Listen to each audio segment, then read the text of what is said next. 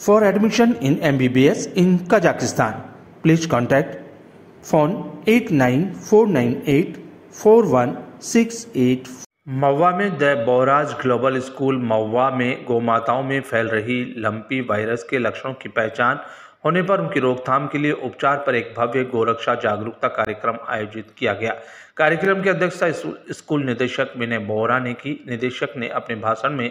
सभी बच्चों को गौमाता की हमारे जीवन में महत्वपूर्ण भूमिका के निर्वहन और गौमाता के लिए चिकित्सीय उपचारों के संबंध में अवगत करवाया।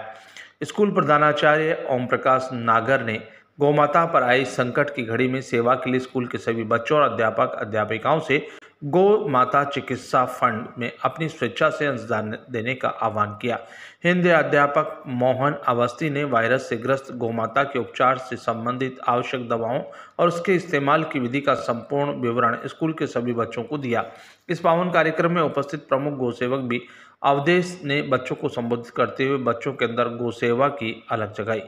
कार्यक्रम के आखिर में स्कूल निदेशक विनय बोरा ने ईश्वरी प्रेरणा से समाज के सभी स्तंभों, सरकारी गैर सरकारी विभागों, संगठन और जनता से आह्वान किया कि गौमाता के लिए संकट की घड़ी में सभी स्कूल, कॉलेज देशवासी एकजुट हो जाएँ।